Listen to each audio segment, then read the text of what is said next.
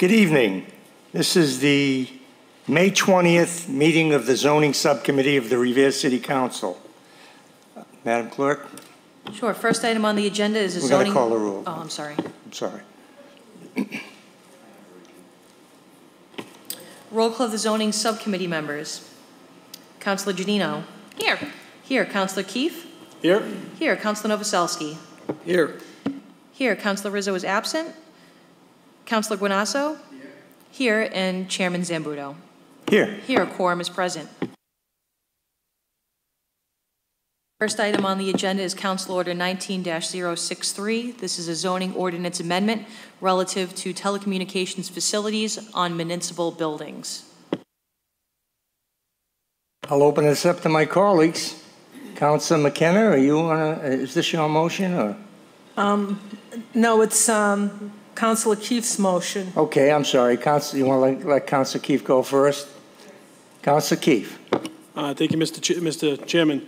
You know, in essence, we we had brought this up, uh, I believe, actually, uh, Councilor Giannino as well, in regards to having um, these facilities on top of any city-owned property. Um, And we just wanted to make sure that, you know, in lieu of some of the issues that we're facing with the Revere Fire Department and and um, their their will uh, lack of willingness to want to have it on their property and recognizing that this could be posed as a, a safety uh, or health hazard to the uh, employees there, we thought it would be a good opportunity to um, take this off the books moving forward so that we can stay away from any of these additional um, antennas on top of buildings. Obviously, if there are special needs and there's something that is brought to light, the council would always have the opportunity to reverse that decision or make a decision down the road. But this is something that would help protect um, anything new from going up in the, new, in the, in the future. Thank you.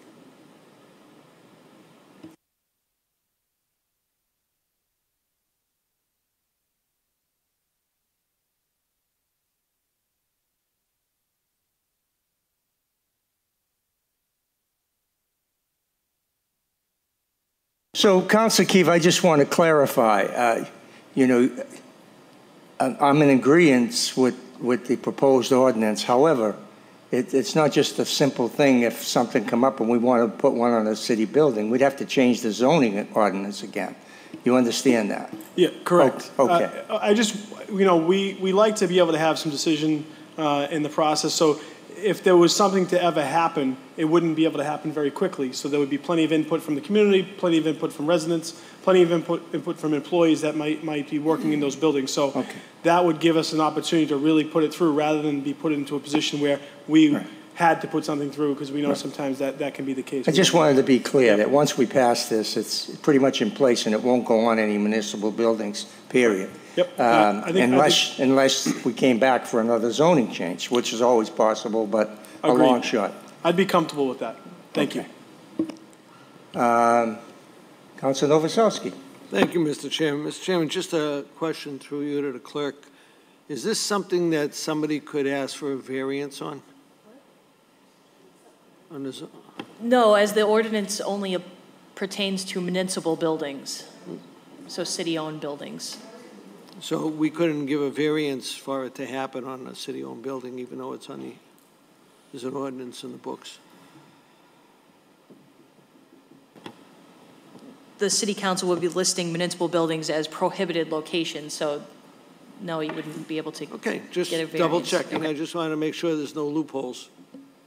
Thank you. I think it's a good idea, Mr. Chairman. Uh, uh, It's, it's something we have to, we still have to protect our city workers, you know, give them a good quality of life, work, work life. Thank you. Thank you, Councilor Novoselsky. Council President Guinasso. Thank you, Mr. Chairman. It's well within our rights, Mr. Chairman, and members of this commis- committee to uh, vote this within our community, based on the fact that we have other cities and towns that are looking at a similar situation, and certainly the town of Weston, where they removed a cell tower from a school. So uh, it's only, in fact, if there is, we haven't got like the health status yet that we're requiring and hoping to get soon. But if there is some outside chance that maybe this is harmful to the health of our, our, our community, let's place, a safeguard for, for all our municipal buildings to make sure that certainly the children are protected and uh, those people who work for the community, we need them so uh, that keep them in good shape, so that this is a provision that I think that the, uh, is a a tremendous idea, and I think it's well within our rights to do so. Thank you, Mr. Chairman. Thank you, uh, Council President Guinasso. Council Giannino. Thank you, Mr. Chairman. Um, I'm looking forward to seeing this pass, and I think that some of my colleagues mentioned a lot of the key points on it, but it's definitely something that there was a cry, of course, from our fire department that they don't want it on their buildings. And I think it just opened up a conversation that, well, if it's not safe to be on a fire department, it shouldn't be on a school, it shouldn't be on any building or municipality where there are people that the city's responsible for working. So I look forward to seeing this uh, get up to the council tonight, and thank you for hearing it in your committee. Thank you, Council Giannino. Council McKenna.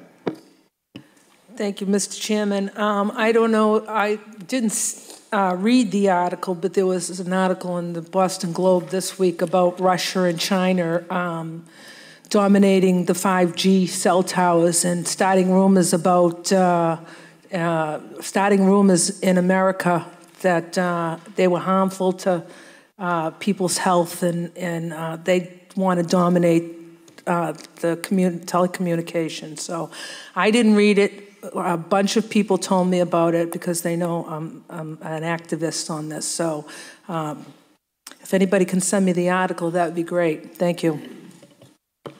Uh, Thank you, uh, Council McKenna.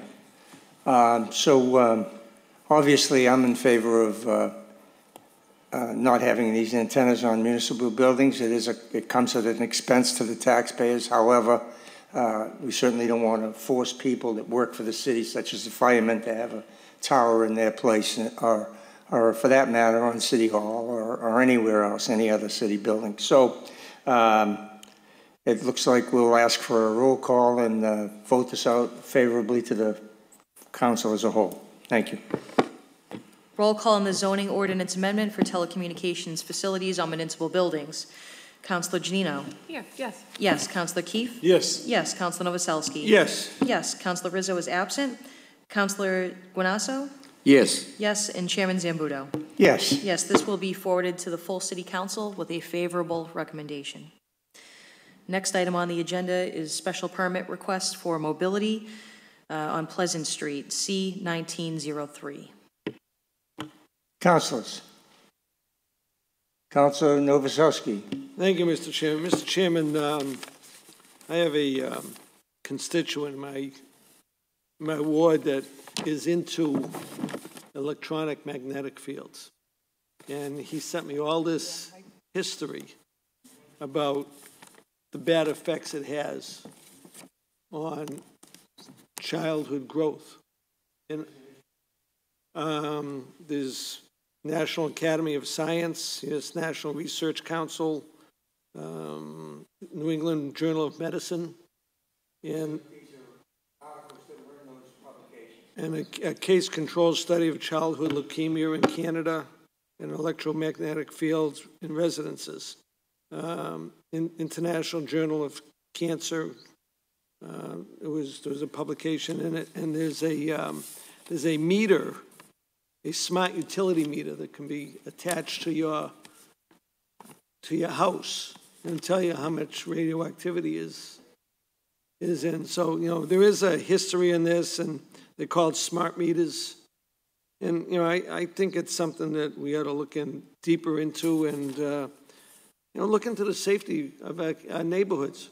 You know, so you know I don't think this should go anywhere. Um, So you are know, you we're going to, probably probably in violation already, but so are you going to submit this to the uh, city clerk? Yes, for- I will. So that we can all get to see you know, it? but it's you know, Okay, great. Uh, Thank you, Council Novoselsky. Council McKenna. Thank you, Mr. Chairman. This is in my ward, Pleasant Street, and I'm totally against this. Uh, It's in a neighborhood, um, and uh, like I said, I do believe that these cause, um, they have uh, microwave uh, radiation, and I wouldn't want it on top of uh, a pole across the street or next to my house. So I'm definitely not in favor of this. Thank you. Thank you, Council McKenna.